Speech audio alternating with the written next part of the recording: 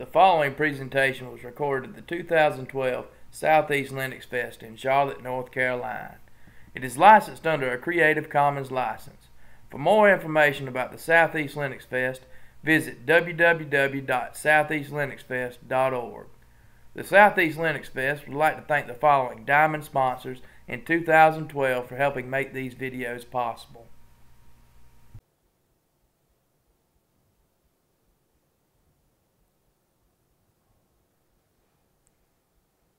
He's going to introduce me first, I think.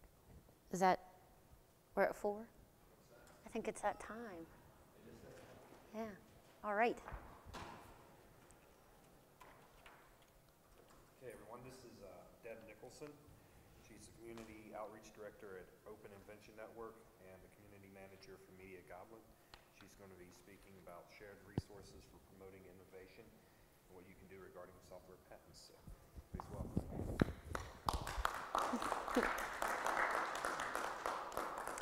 Thanks. Um, so, uh, just a little background on me. I, I, uh, I'm a free software activist. I got here kind of via the uh, work to promote free speech and uh, increase access to the political process and protect civil liberties.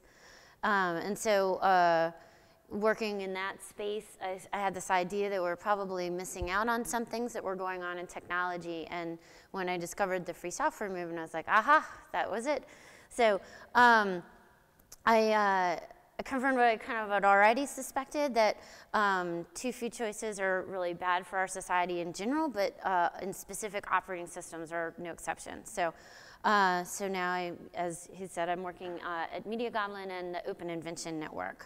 So, um, oh, and I, we're a small group, so if you guys have questions in the middle or things you want to clarify, uh, we can be really casual and then just raise your hand. Um, so the Open Invention Network is a defensive patent pool for uh, Linux, both on the desktop, like the GNU Linux user space, and then also the, uh, on the mobile, on mobile devices. So um, what we have is a defensive patent pool. Everyone who's part of the pool uh, agrees to mutual non-aggression on uh, Linux and related technology that's with, you know, within the purview. Um, we also uh, do some work to block bad software patents by encouraging people to file defensive publications and to create prior art. Uh, and we will often give free advice to uh, Linux projects and, uh, you know, with the regards to like patents and other kinds of issues that are similar. So. Uh, so that's what the Open Invention Network is. Um, we're actually based out of Raleigh, although I work at my house in Cambridge. So there we go.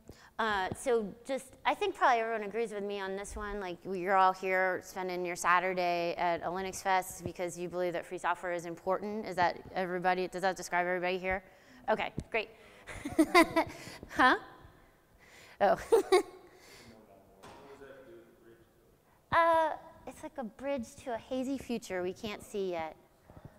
My, um, I, I, went to school for painting and sculpting, so like I'm more of a, a like a visual person. I'm gonna try not to like read off the slide because I think that isn't that interesting. Because then, you, like, it, then you could just read along with me, and, and so I don't, you know, need to be here. So, so. Um, so some of, the, some of the reasons that I think free software is really critical for our future is, you know, it, it helps uh, developing countries with minority language groups to be able to participate in technology. So like Brazil is a great example.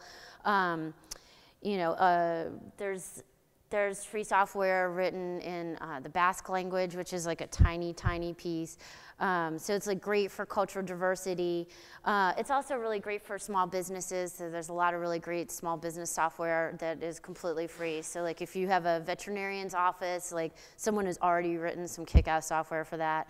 Um, I think also dentists, like a very small dental practice, you can get great software. So like, like a massive, massive installation doesn't work for maybe your four-person business, uh, but you can take something that's free and tailor it specifically to your need and have a one, you know, not, not a one size fits all solution, but like one just specifically for you. So I think it's good because then, you know, um, we're able to support and empower like small businesses and that we wouldn't otherwise be doing. So, so that's a little bit why I think it's important. Um, probably everyone agrees with me on this part too, right? um, so, according to a recent paper by James Bessen at Boston University, he wrote, uh, We find that NPE, and that's non practicing entities or patent trolls, um, we find that NPE lawsuits are associated with half trillion dollars of lost wealth to the defendants from 1990 to 2010. So, during the last four years, uh, the lost wealth has averaged over 80 billion per year, and these defendants are mostly technology companies who invest heavily in R&D. Um, so that's a lot of money. So uh, getting sued, you know, it costs money. And I think that the time could always be better spent on the part of the technology company, unless, of course, you're the $400 an hour lawyer.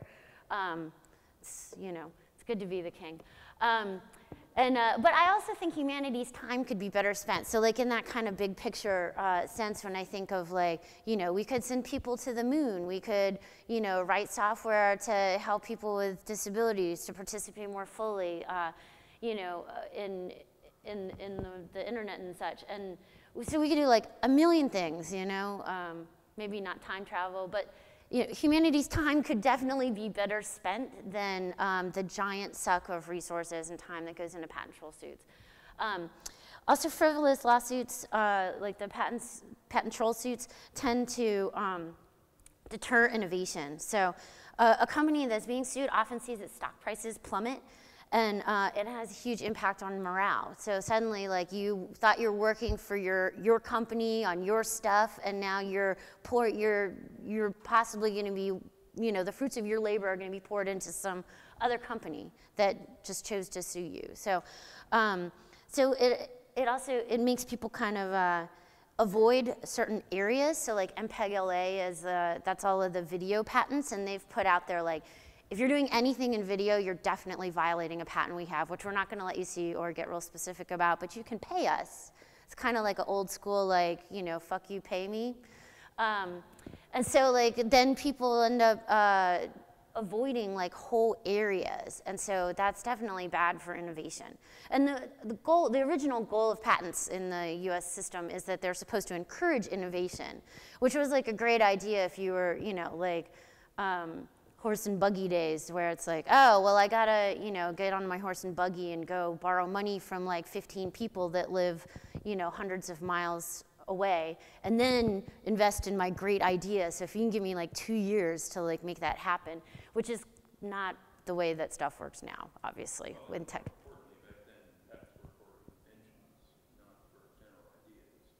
Right. Oh, yeah, yeah. We'll get to the.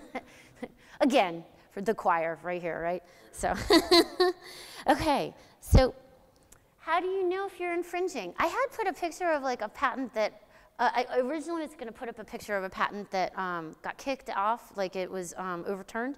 And then I was like, what if they found a way to bring it back? And then I would be subjecting everyone who'd seen that slide to treble damages, and I didn't want to do that. So now we get a nice fuzzy blue sky. Um, and so, uh, yeah, it's, it's, it's pretty difficult. Um, so this, this particular patent was a win. Do people know what this one is? Like this, this is just the title. Um, this was, um, so it's, Red Hat and Novell in 2007 were uh, sued by an NPE um, for user interface with multiple workspaces for sharing display system objects. Um, and there was like three patents with this under this title. Um, this is X Windows from 1987. It's an old Xerox PARC patent that um, somebody bought up when they divested all their stuff.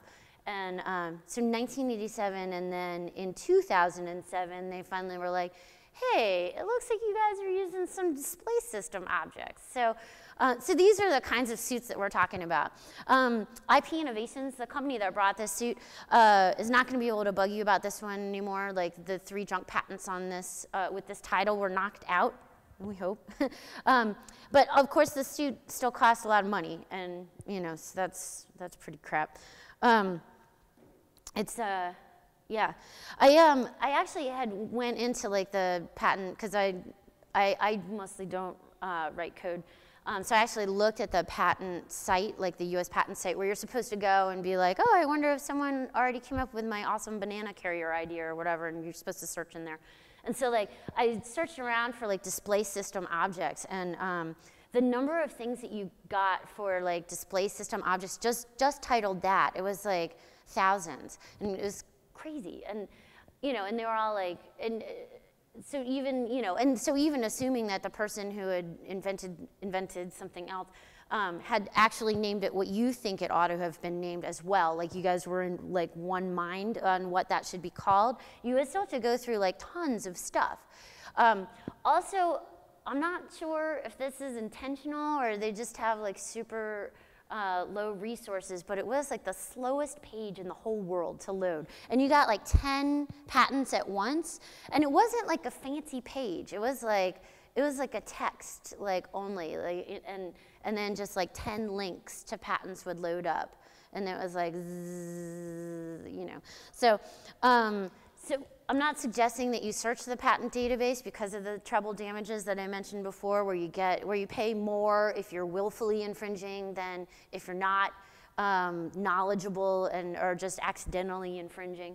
Uh, although there was maybe uh, some inference that willfully being uh, unknowledgeable might make you uh, like a willful infringer. so I know it's it's um, it's a Yeah.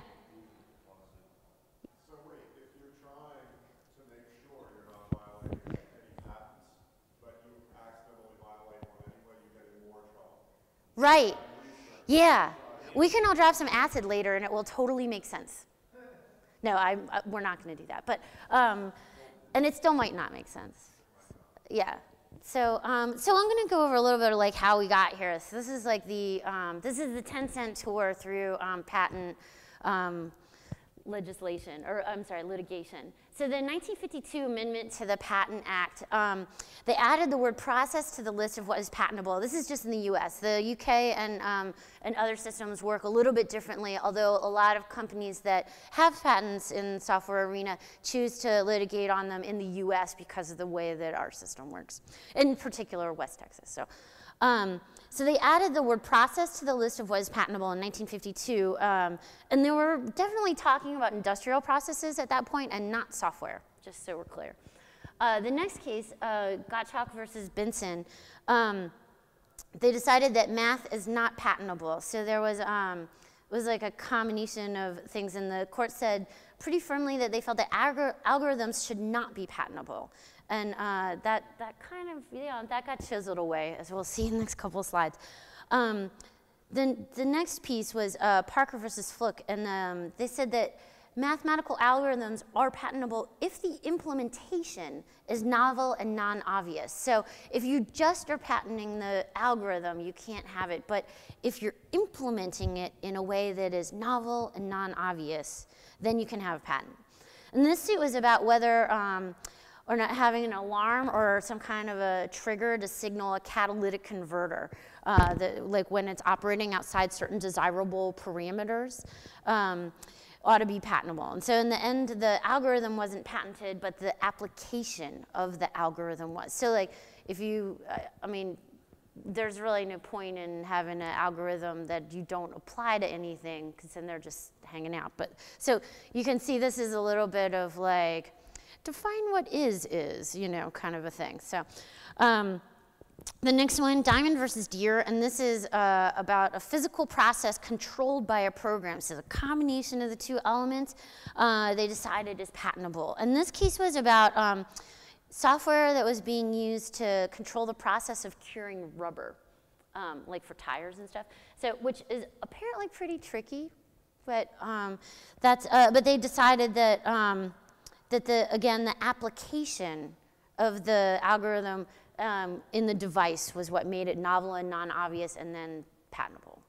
So um, the, next, uh, the next one was the uh, Federal Circuit Court. Well, this is not a case. This is, uh, the Federal Circuit Court was set up to hear appeals on software cases. Um, I'm sorry, yeah, on software cases. And um, so these sorry, patent cases, but also software patent cases. These courts were largely presided over by patent attorneys, and this is um, the case law that was created here um, ended up being the road to the patentability of everything. um, including software. So, and the lower courts in the U.S. have to abide by the higher courts precedent. And uh, the idea here was that, like, oh, we'll have people who are experts in patents deal with all the patent cases, and then the experts that they found were, of course, patent attorneys some of whom were, had been made very wealthy by the enforcement of patents and felt very, you know, as warm and fuzzy as anyone feels about a giant pile of money towards patents. So um, basically, they put Cookie Monster in charge of the cookie jar here. So um, uh, Alappat, they decided that the installation of software on a device creates a new patentable machine. So you can see uh, we're, we're spinning wildly out of control into silly land here. Um, this one was uh, derided as the piano roll blues by one of the dissenting judges. He said, like, a piano, like a player piano is the same no matter which roll of song you put on there. I'm a little fuzzy on how piano player pianos work, but, uh, but it's basically like, it's the same thing, whatever kind of, you know, info you put on it. And they were like, no, no, no, it, it could be, it could be new. Um, and then uh, the 1998 State Street case um, is where we get the useful, concrete, and tangible document, uh, doctrine. And that was, um, it was about an, a business method patent from, um, and, they, and there's like they were looking at a business method patent in this one, and they wanted to uh, apply the useful, concrete, and tangible. So not useful, concrete, or tangible, but like they were like maybe patentability ought to be like all three of these things. That didn't last. That was struck down, um, as you guys are probably aware. And then um, then we had a big long gap of time where the Supreme Court chose not to hear anything about patents and or software patents at all. Like they didn't really want to get into it until 2010 when they um, decided to hear Bilski versus Kappos. And this is another business method patent. This is about hedging risk. Um, which is like, oh, save some for a rainy day kind of a thing. So that's like a really vague idea, but they put a lot of financial language words in there and it made it sound like kind of a big deal. Um, a lot of folks had high hopes for this. When I was working at the FSF, we were organizing to um, put uh, an amicus brief together and get a lot of folks to sign on. People were like, please use this to strike down software patents. Please use this to get rid of business method patents. And we probably even got folks like talking about genetics and other like, you know, law, nature things. Um, and so uh, there were like people were really excited, like, yay, the Supreme Court finally is going to hear something. Maybe they will finally make something, you know, change this.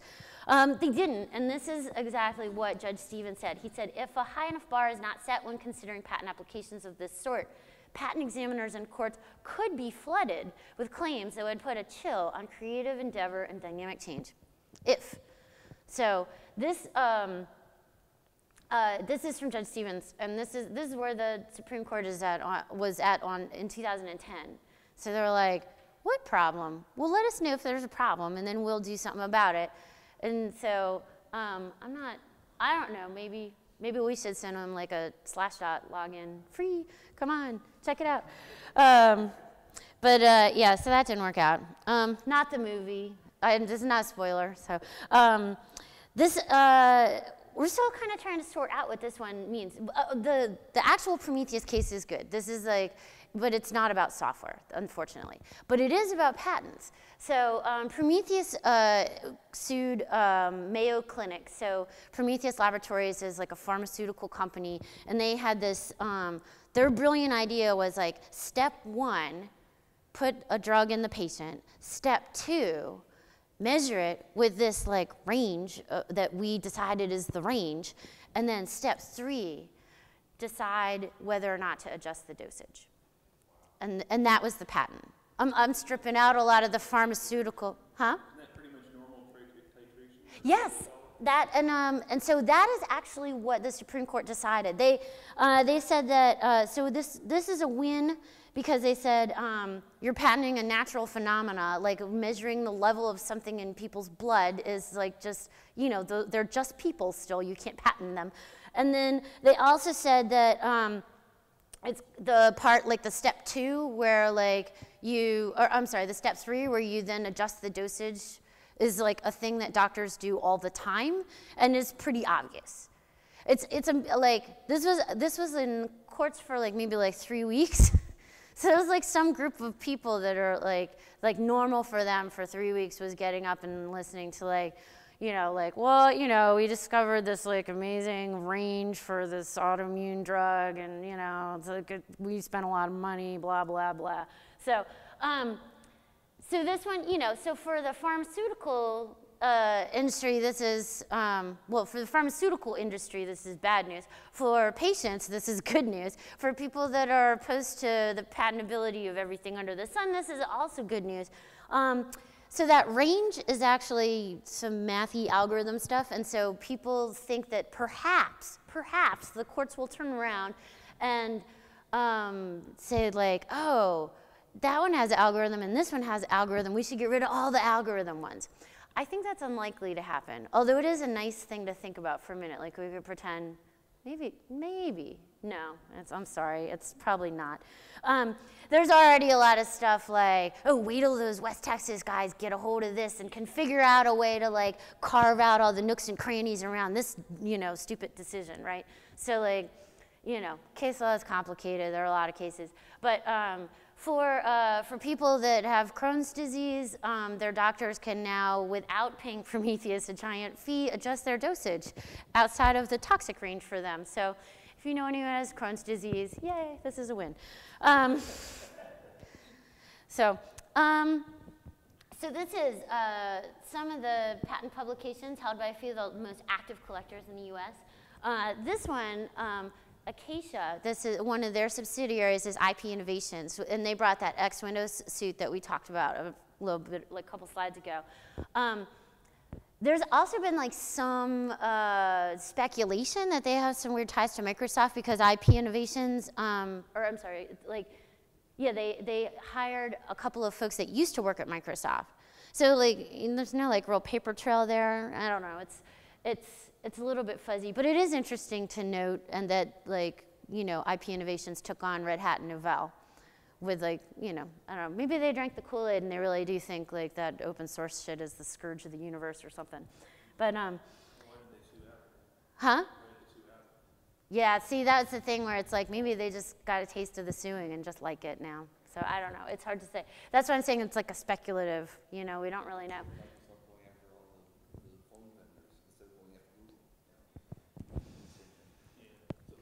Yeah. Oh, this is, yeah, the, this is from Patent Freedom, and so um, their numbers, they're maybe like a year or two old, so um, the Lodsys numbers I don't have. But um, yeah, Patent Freedom is a great site if you want to be depressed, but, um, and have numbers to back it up. So you can take a look at that. Um, and so like, so, so all of these companies, um, this is what they make.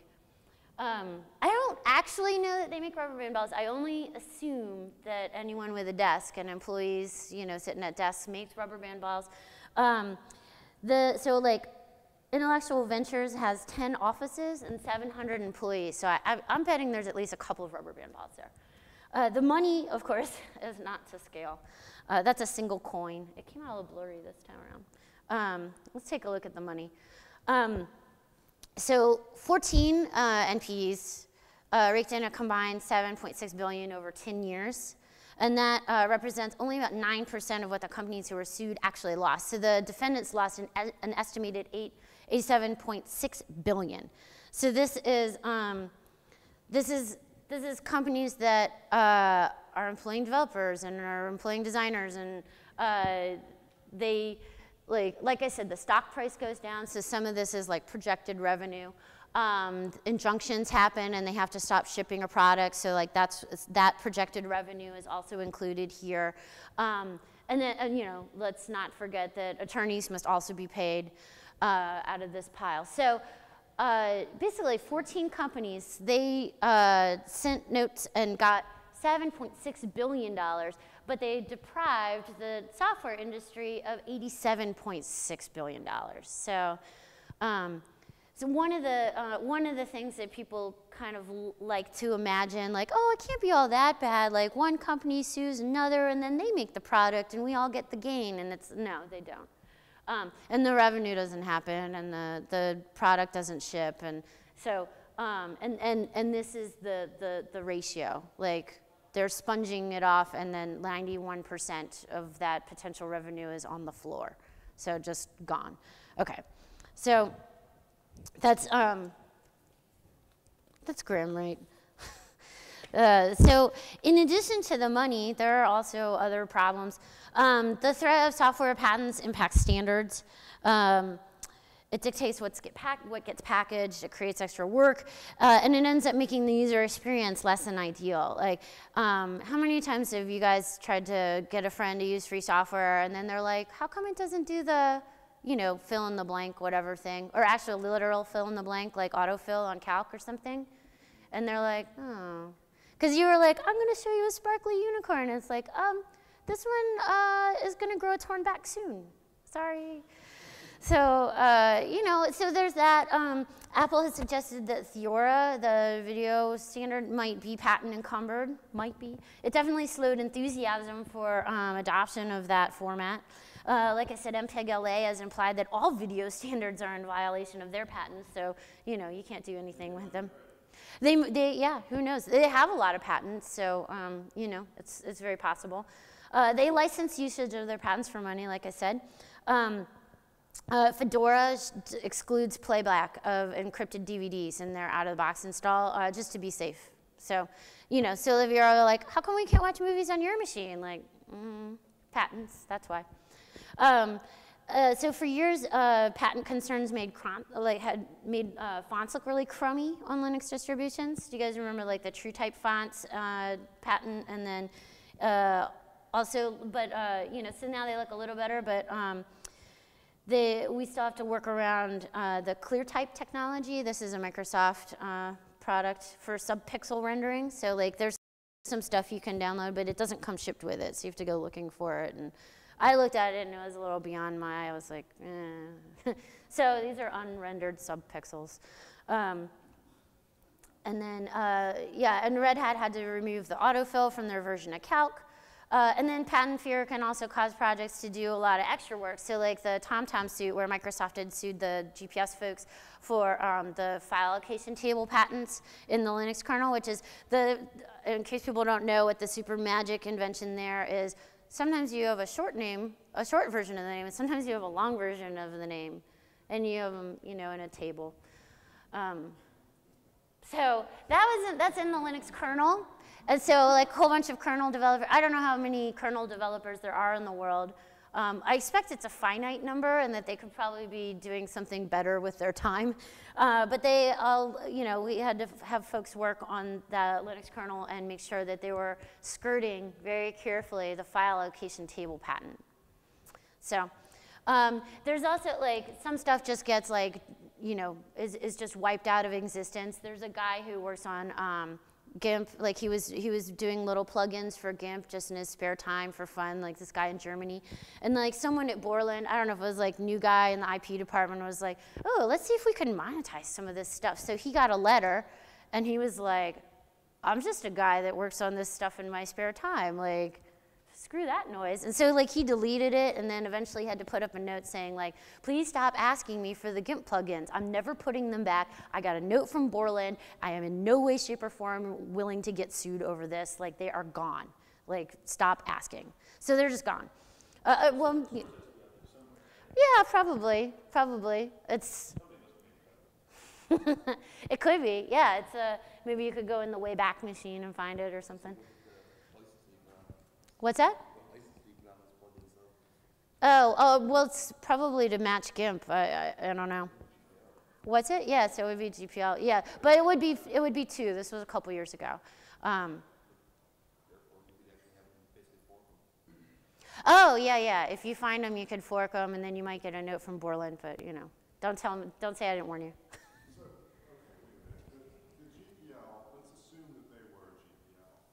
Those plugins, uh huh.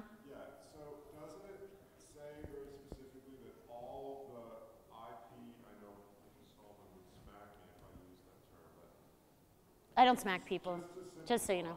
If all of the so-called intellectual property that is, uh, rights are, it's transferred to the end user. Mm-hmm. Isn't that the whole, like, the whole? Oh, yeah, let me do a little bit of background. Yeah. So GPL v2 doesn't mention software patents at all. Um, and the GPL works primarily under copyright law. So copyright law is designed for like songs and music and books and poems and all that jazz. Um, and then patents are for like ideas or concepts or whatever. Yeah, well, now it is, right? Yeah. Or like, it's supposed to be for inventions. So, um, right. So, but if you have like, uh, like a functionality that um, you figured out another way to achieve, um, that could that could still be patent infringement if someone has a patent on that functionality. Whereas copyright infringement is when you have like wholesale cut and paste. So you know, so people kind of get that like trademarks totally separate, blah blah. So, um, huh?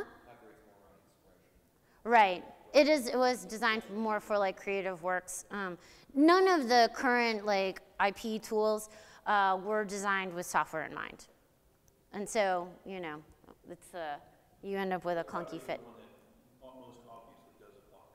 Copyright. It is a written work by people. Yeah. Okay. So, um, so there are some things that can be done, and that's we're going to go on that bit, and then I'll open it up for questions. Um, so, uh, peer to patent. Uh, this is like at, at linuxdefenders.org. Um, we're working on gathering background for the USPTO to look at before bad patents are issued. So. Um, one of the reasons that the quality of current pat well, we think one of the reasons that the quality of current patents is so bad is because the USPTO is sort of chronically understaffed. Uh, and the amount of time that they can spend examining a single patent is pretty short. And then they're not necessarily experts in that area. They might be like, look, like oh, you work in the software department, but uh, they, you know, obviously software is vast, and so, you know, they may not be a particular expert in that section. Um, I actually, I met someone who was a, um, who worked specifically in the umbrella department. So like her whole day was looking at patents for new umbrellas. And, and sometimes other rain gear. So like they, they tried like, yeah, yeah, well, you know, like, or like, do you guys remember those hats It was like had an umbrella on? Yeah, so like that kind of thing she said. So so for some stuff, you can be really expert, and then for like the software department, it's, it's a little too broad. so, um, yeah, it's. Um, I think it's like the banana carrier where people constantly like, you know, because they carry one all the time, they're like, I could totally do a better job on this, you know, and because it's like one of those things like, yeah, there's there's some stuff that there's a lot of patents on. People are constantly improving, and it's like like it's I don't know. If you're thinking of, of inventing one, don't go looking though, because you don't want to, you know, be a willful infringer. Um, so, you know, anyway. Um, so uh, OIN is the lead sponsor of the Linux Defenders program, um, and so uh, the prior art documentation is um, is a is a big thing to help us uh, get rid of existing bad patents. Um, and it's, uh, you know, so like when, um, when Red Hat and Novell were sued, we did like kind of crowdsourced prior art and we're like, hey, we must know the people who were on all those Usenix lists in 1986 before this Xerox PARC patent was issued. If you can dig up some of those uh, old archives and find something, that would be super awesome. And so that was one of the ways that those patents were dumped is that someone was like, oh yeah, I totally have my Usenix list stuff from 1986. So, um, so that was actually really good. You, you, you, you might find, you might think that person is a little OCD, but it was helpful. So um, it's, that's really good. Another way that um, we can uh, block future bad patents is with defensive publication. So if you don't want to like get into the game of patenting something yourself, you can say like, I or my company or my project made this thing and we don't want anyone to patent it. So uh, that's basically what a defensive publication is. And OIN helps people write those if they want to. Um, and I can talk. Like the first to file versus first to invent. So like, um, you file a defensive publication. So yeah, and then the prior art actually helps more with the um, novel, non-obvious piece of patentability. So um, if you, you, you can't say like, we both got this at the same, like exact same thing at the exact same time, and then it's still, it still comes down to first to file. But if there's a lot of prior art where it's like, you know, seriously, everyone's been using this for three years, then it's like, it's not novel and non-obvious. So that's, uh, yeah. Uh, the America Invents Act is a um, piece of legislation that was recently passed that changed us, uh, the US system uh, so that it's more in line with the global system. So like in most companies, we used to have like a first to invent. So if you're like, I invented it, but you didn't tell anyone or do anything, but you could at least document it, then um, you couldn't be sued for infringement if somebody else filed on it later. But now if you just secretly invent it and don't have any, you know, then you're first to, you, I'm sorry, what? Submarine. Well, so the submarine patent thing is where someone's been hanging on. Oh, I'm sorry. So yeah, the question is is that about the submarine patents? Um, a submarine patent, in my understanding, is more when uh, someone's been holding on to like a patent for a really long time. They actually see the Yeah, they or they bought it off of someone else that you know declared bankruptcy or something. Um, and so yeah, if they have like one of those super old things, and yeah, then you still that's the first to file. So you have you you get to keep the date with it, is my understanding. But yeah, if you if you have a specific like I'm not I'm not an attorney, so if you're like asking because you're like, oh sweet, I'm gonna go back to my company and tell them that we're totally good on whatever, like don't do that. Um, send me a note if you need like that kind of specific like don't don't try and catch free legal advice out of me, is what I'm saying. huh? He's also not an attorney, but he would be happy to talk to you about stuff too. no, he, um, like, di different things. So, anyway. Um, so, the, uh, as I said, um, OIN has, uh, has a patent pool. Um, there are a lot of other patent pools, and some of them behave like the mob, like MPEG-LA, um, and some of them are like for other specific pieces of industry. There's probably some pharmaceutical pools and things like that. Um, OIN is the only defensive patent pool dedicated to the pres preservation of Linux. So um, this one is ours, and um, it's free to become an OIN number. I can talk to people more about that in specific, or we can convince about patents, whatever. Um, uh, yeah, and so I think, uh, summing up, I, sadly, I think the courts are unlikely to do anything super great in the realm of putting patents outside the scope of you know, I'm putting software patents outside the scope of patentability. I also don't think the legislature is going to do it. They feel like sort of, oh, we just dealt with all the, you know, patent stuff with the America Invents Act, and I don't know about your um, your Congress people, but when I talk to them about tech, I get the feeling they're not too savvy. I also get the feeling they're not too savvy on patents. So um, or they don't care. They uh, never underestimate like the um, motivation to be unsavvy that a lot of money can produce.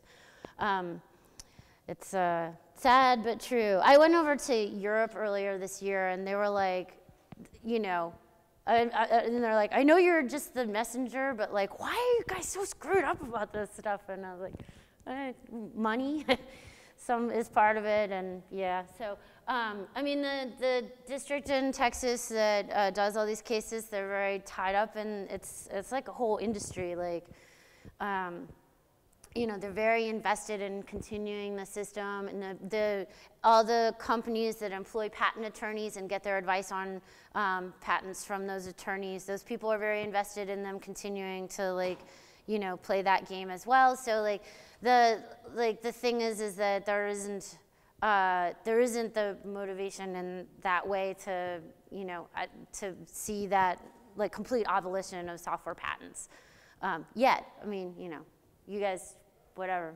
Or maybe it's Stephen Colbert to fund it, who knows. That's the, that's the idea I kick around with Bradley Kuhn, is that we'll get Stephen Colbert to, to form a super PAC. Um, if anyone knows him personally, let me know. Um, Okay, and so I'm going to open it up for uh, questions, comments, etc. Um, on any aspect of that. These are just, that's my email at the Open Invention Network, and then uh, those are just the picture credits. So they're all, yes? So you, uh, in regards to the full Open Invention Network, you mentioned yeah. Specifically a couple times. I'm yeah. what the focus is on Linux specifically yeah. versus open source software Yeah. general, maintaining them along with Linux, is a wide division. Right. So, um, so the Open Invention Network was. Uh, the question is why does the uh, OIN's defensive patent pool focus specifically on Linux and not on the general open source or general free software? So, I think it comes out of the six founding um, companies that started OAN, and that they're like specifically interested in Linux. So it's like it's Red Hat, it's Novell, it's IBM, um, Sony, Philips, and I'm always forgetting the other one. There's one more. NEC. Oh, so we're not, and I know, like, I, I do mean GNU Linux on the desktop, but it's like, it's Linux on the desktop and in the mobile space. So, um, so both of those things.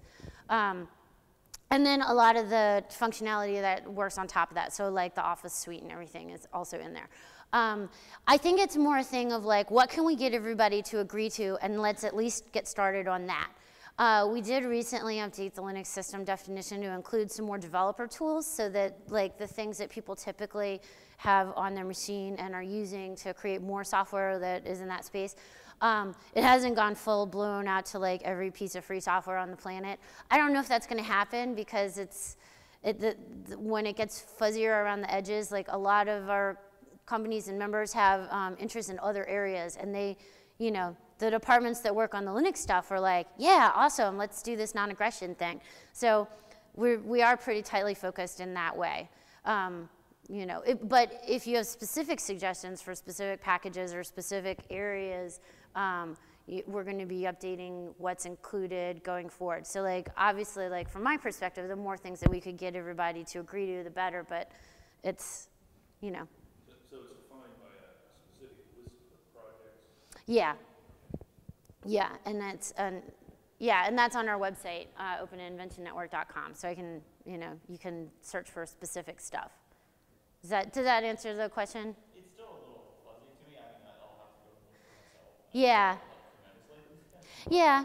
It's well, I mean, and the thing is, is like part of the. I think part of why it works is because of the the focus, you know, and so it's, you know, it's it's difficult. Like when you know uh, people want to do everything, but So one thing that you mentioned that, that might change or might, might clarify, you, you mentioned six actual corporate entities yeah, that are kind behind this. yeah. Motivated to be behind this, and that's, that's, it's good of them, and that's a good start.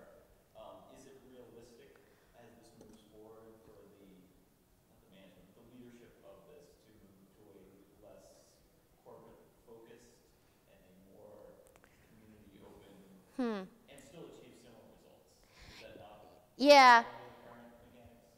That's not how it's set up. So the question is, um, uh, could we see like more of a like what full-on community participation model instead of like uh, you know a, a leadership-led sort of yeah. Well, we are going to be soliciting more um, feedback, and so like it's some of the some of our members are a little old school, so they're like, we don't want the whole rabble coming in. It's like, eh, you know, and then it's like, okay, okay, let's let's let's start. So it's it's definitely going more towards more um, input and participation. I don't think it's going to be like a full-on like you know hippie collective by this time next year, but uh, not not that I think that's a bad thing. They're great, um, but uh, so you know, it's a process, is what I'm saying. So. Do people have other questions, comments? Here and then.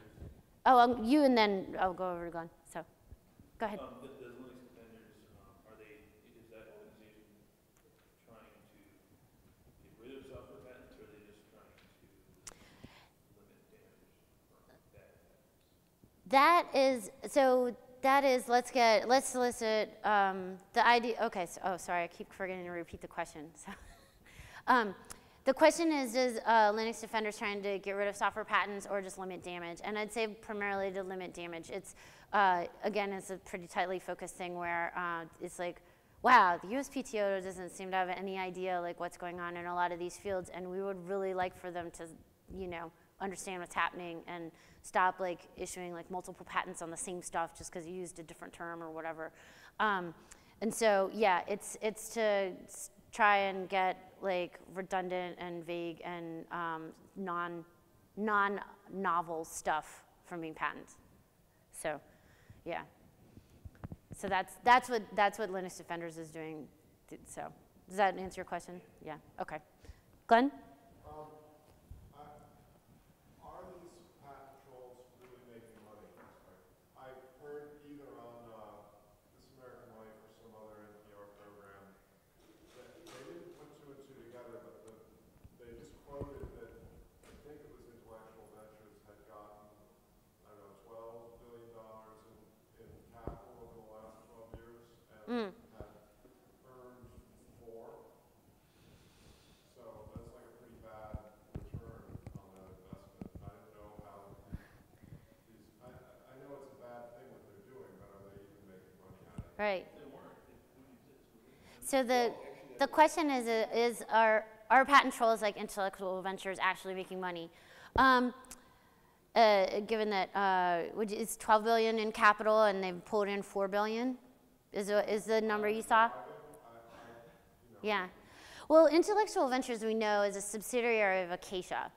Um, so I, I like so they might. Um, I mean, who knows? They could be doing like a shell game where they are reporting a loss on like, oh, all the poor employees at Intellectual Ventures are not making very much money, but Acacia like somehow got like eight billion dollars in fees from them. Who knows?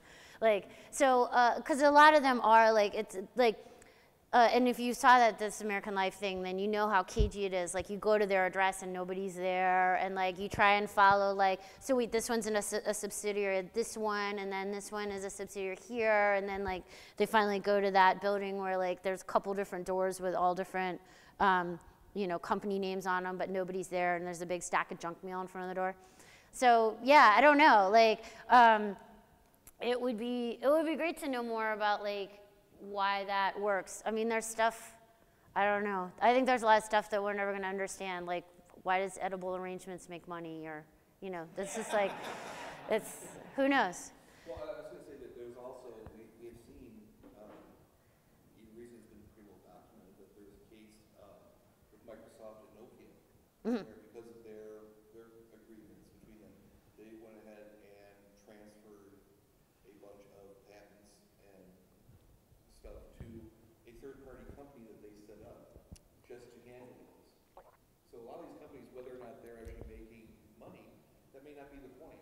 They may just be actually being set up by other companies to actually basically be the, the bad guys, go out and actually start these lawsuits. So the yeah. So. Right. So the, the comment is that um, some of the companies that are bringing software patent suits are not doing it to make money, but doing it to thwart their competition. And that is definitely true. There was like a Intel and Cyrix case from a while ago. You see, it was very clear Cyrix was smaller, and you know the six month. Uh, hassle of trying to figure out like who did what like while Cyrix wasn't allowed to ship gave Intel enough time to go and get their own product put together and then just blow them out of the water because they had much superior distribution. So yeah, you definitely see that. Um, uh, PJ on Groklaw thinks that the uh, case that Microsoft brought against TomTom wasn't at all about like, ooh, we're really gonna shake TomTom down for money because like Bill Gates is so hard up for cash. Like that it was more like a shot across the bow, like, see that Linux people? We got you. And it's like, you know, so, and that's like the point is that, you know, there, a lot of times that's the point. And that was why people were interested in like, why do those former Microsoft employees work at Acacia? Like, or do they actually still work at Microsoft? Again, we'll never know. Like, we could go to their office and find, you know, riffle through their junk mail, but um, I don't know. Uh, with the recent, uh, agreement by Barnes and Noble to spin off their ebooks division and join with Microsoft. I know that they were fighting Microsoft on the patents that Microsoft says they have over desktop Linux. hmm. And those narrowed down to five patents before they agreed to drop everything. Those five, are those five patents able to be invalidated by prior art? And would that process be? I think, do we know what they are?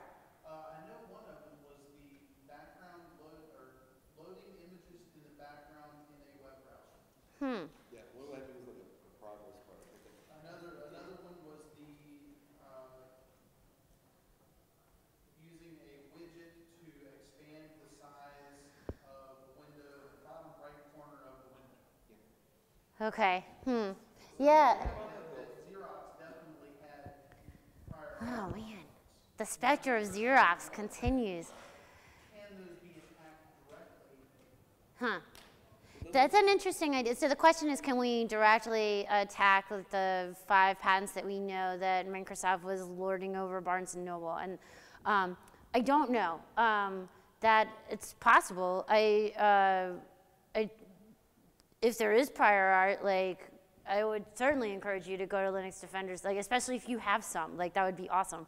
Um, the more prior art there is, the more full of resource it is, and then the more you know, more likely it is like, oh, we should check that repository, you know, and look on those things. Noble had actually brought some of that prior art to the table, and I think that's why Microsoft wanted to make them an offer. So there's, oh, okay, and then they settled. So yeah.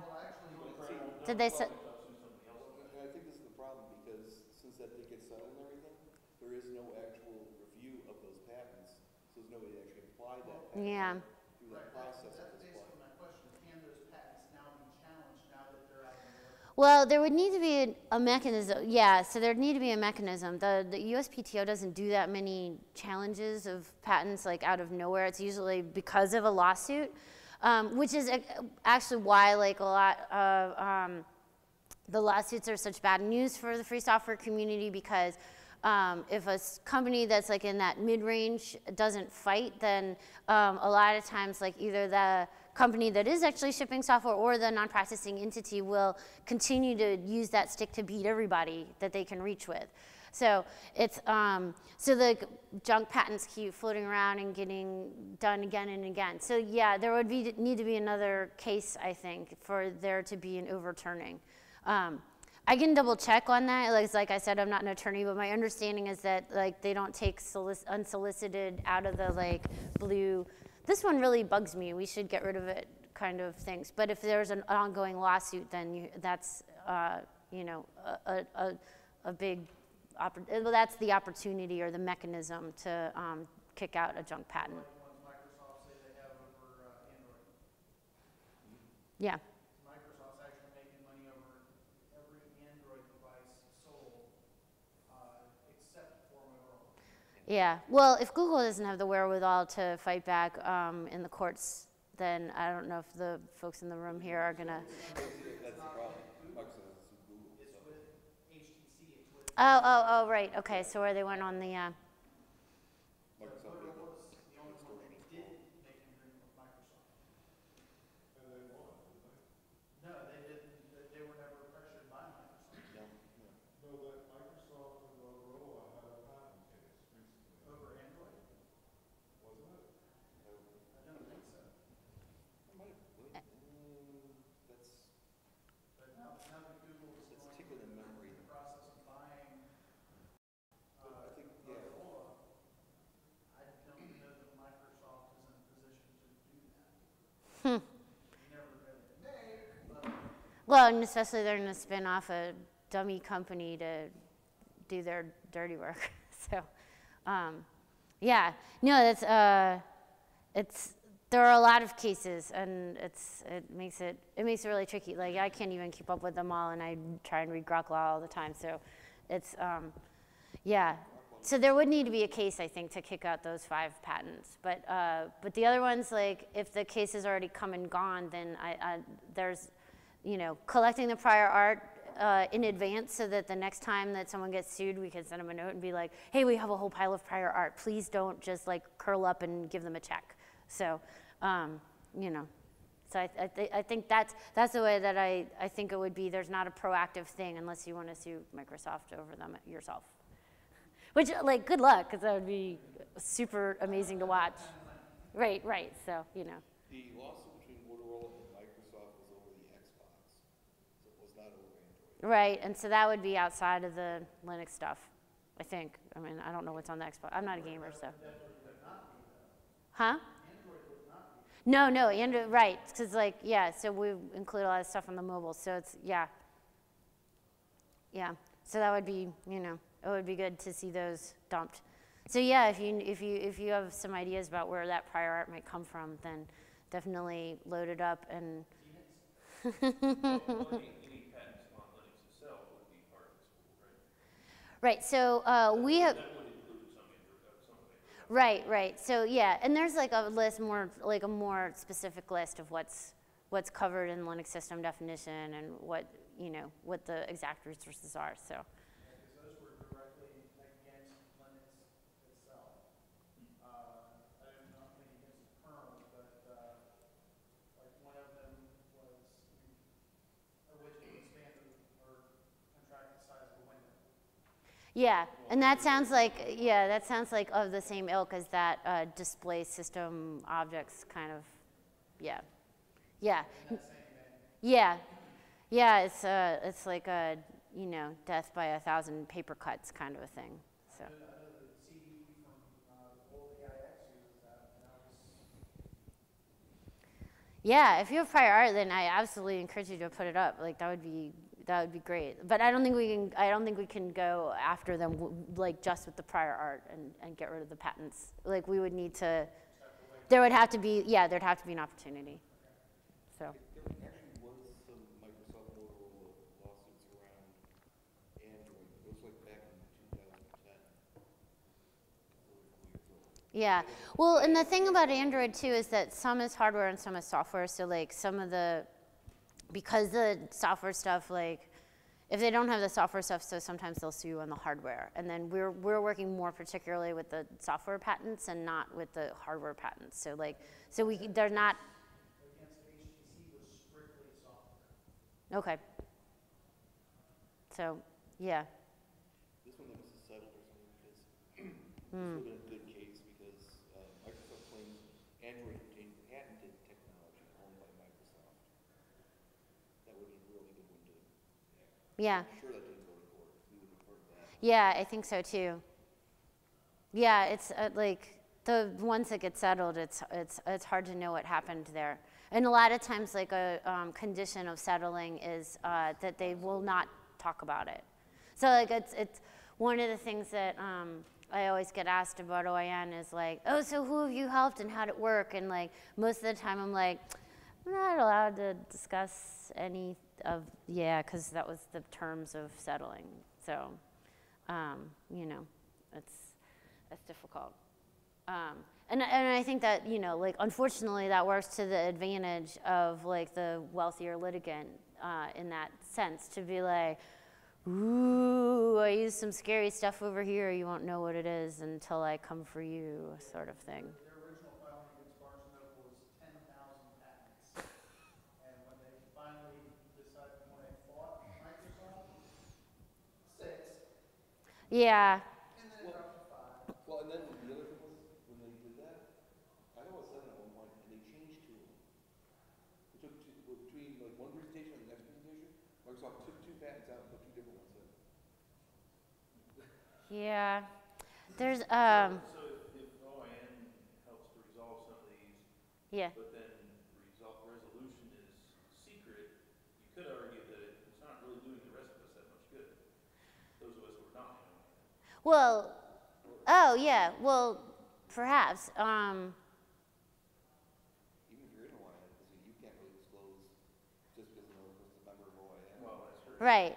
So we're able to help folks who are members. Um, yeah, and it's I mean, you know, as the as the number of OIN members grows and the number of patents that are in that pool in the Linux system definition expands, like you know, we may start to look like a less tempting target. Like, oh, when you see them, like, oh, they always like crowdsource all the prior art, and then you settle, and it's like just a big, you know, we paid lawyers for nothing. We didn't even get a good lawsuit out of it, and it's like, so, the, you know, um, I mean, I think we'd have to be a little bit bigger to be that scary, um, you know, to to not to def- deflect suits from that in that way. But um, yeah, I mean, anyone can be an OIN member as long as they agree to not sue other folks in the pool and not use those patents to uh, troll or aggress. So it's it's not like a, But I don't have so it wouldn't make sense for me to join. well, you- no, um, actually, no, lots of our members didn't contribute any patents to the pool.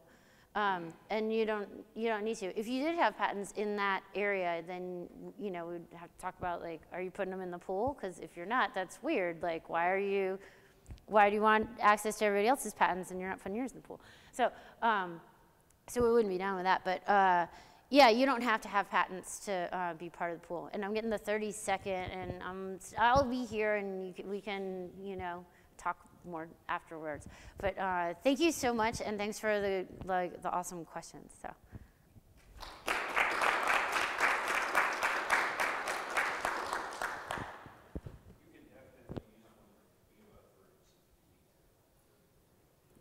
Oh, okay. Yeah. Sorry, I don't need to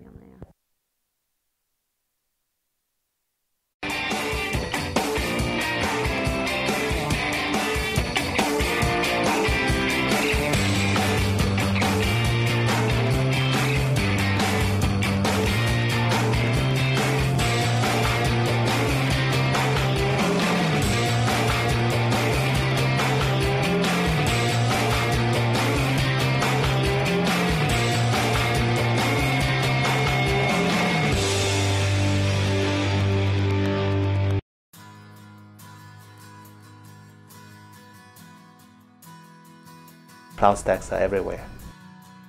This is the way to, to better utilize uh, all your resources and it makes managing all your resources pretty easy. All of the innovation is happening in open source. The, the collaborative nature and of the uh, you know of the community and, and the speed at which these uh, these you know these these deficiencies these bugs are getting discovered and then fixed is a, is like that really shows the power of the you know of the open source community. It is global and it's definitely because of the users. Community people are extremely friendly and uh, always ready to help. If you go onto IRC any day, you'll see these guys helping each other out and they're all doing it like in a selfless manner. The product is transparent for everyone. Everyone can look at the code base. Um, everyone can see how CloudStack is, is being built. Nothing, nothing is proprietary. Everything is open. In many ways, it's absolutely vital to the, to the ongoing health of CloudStack. The most exciting event uh, in recent memory for me uh, was our first developer boot camp. Uh, and you know, our call gave people, I think, maybe two weeks notice to come attend. I was expecting 25 or, or 30 people. Uh, so we ended up with uh, 87 people uh, and had to go get more chairs uh, into the room twice. Everything within cloud computing is commodity and is open source. And so I, I don't think that you will uh, you, you'll see anywhere where open source is not pervasive in cloud computing. And so I, I think it's uh, I think it's an assumption. I think when you talk about cloud computing, you're really talking about open source cloud computing. CloudStack is a robust solution for large deployments. You have dozens of data centers and thousands of servers in each data center. Is uh, these um, uh, hardware is going to fail, and CloudStack is designed to handle number one that mass scale. Number two, it's designed to handle the failure that inevitably happens uh, in large deployments. We started working on CloudStack over four years ago, uh, and you know it was the original set of people working on it uh, had a background of delivering software to telcos and service providers. Lots of QA, lots of users actually using it. High availability is the key feature. Uh, multiple hypervisor support, uh, different network models. You can pick up whatever suits you better. CloudStack Management Server can be deployed in different physical machines. It definitely has a huge footprint. It's being deployed everywhere. There's a major movie studio that uh, um, they were using CloudStack. They were using it to transcode video. And I thought that was terribly fascinating. What I found more fascinating is what they did during lunch, where they would spin up, uh, you know, 50 or 60 game servers. Then as soon as lunch was over, they would destroy all the instances and go back to doing real work. CloudStack is vast. Uh, it touches so many different aspects, and there's no one person that's kind of like a master of all those realms. I think CloudStack as a project is going to be uh, one of the leaders simply because it's some of the most featureful and and uh, and robust platforms out there. I don't see any limits to the CloudStack.